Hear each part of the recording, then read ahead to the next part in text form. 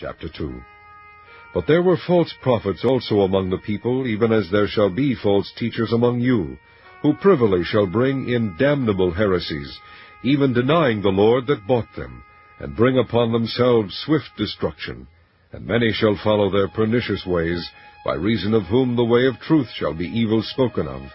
And through covetousness shall they with feigned words make merchandise of you, whose judgment now of a long time lingereth not, and their damnation slumbereth not.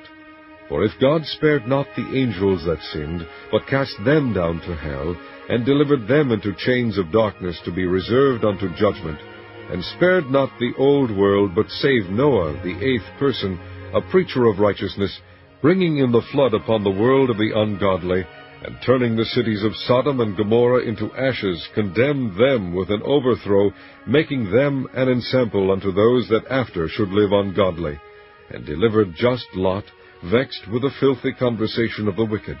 For that righteous man dwelling among them, in seeing and hearing, vexed his righteous soul from day to day with their unlawful deeds.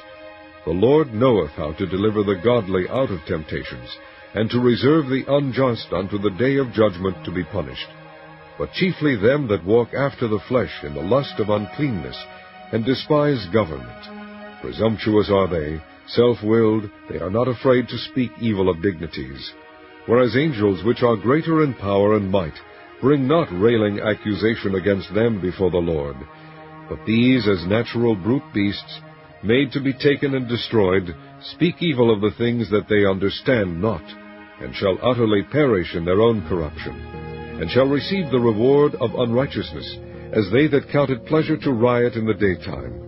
Spots they are and blemishes, sporting themselves with their own deceivings while they feast with you, having eyes full of adultery, and that cannot cease from sin, beguiling unstable souls, and heart they have exercised with covetous practices, cursed children, which have forgotten the right way, and are gone astray, following the way of Balaam, the son of Bosor, who loved the wages of unrighteousness, but was rebuked for his iniquity.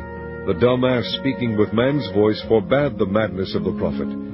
These are wells without water, clouds that are carried with a tempest, to whom the mist of darkness is reserved forever.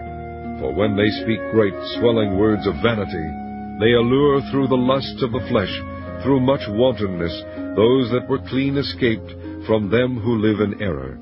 While they promise them liberty, they themselves are the servants of corruption. For of whom a man is overcome, of the same is he brought in bondage.